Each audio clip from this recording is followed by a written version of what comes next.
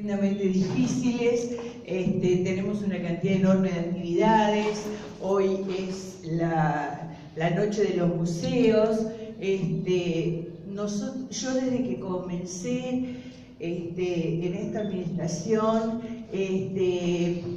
abrí las puertas de la biblioteca, por sobre todo eso. Eh, aquí la señora me decía que las bibliotecas significan conocimiento. Por supuesto que significan conocimiento.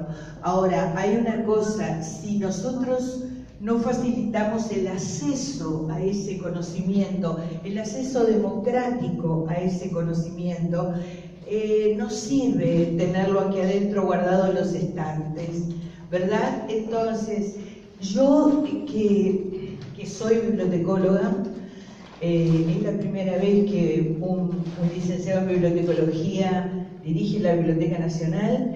Este, creo que desde el primer año de facultad lo que me han enseñado es eso, que somos intermediadores entre el conocimiento y el deseo de las personas de acercarse a él. Entonces, lo que por sobre todas las cosas a mí me importaba era abrir las puertas de la biblioteca, que estas actividades culturales este, se, se lleven adelante yo realmente les agradezco muchísimo porque siento que no hago otra cosa que cumplir con mi deber y, llevar adelante mi tarea como, como, directora de la biblioteca. Por otro lado, eh, digo, el, el hecho de que siempre